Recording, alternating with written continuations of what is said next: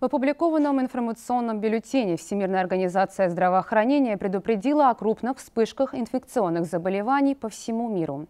Риск увеличения числа зараженных зародился ввиду ослабления санитарных мер, связанных с пандемией коронавируса и сбоев в проведении плановой иммунизации. Как заявляют ВОЗ, дополнительной причиной для роста этого риска послужило перемещение миллионов людей из-за конфликтов и кризисов, в частности в Украине, Афганистане, Сомали и Эфиопии.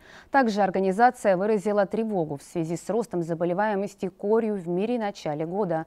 Только в январе-феврале было выявлено более 17 тысяч случаев заражения.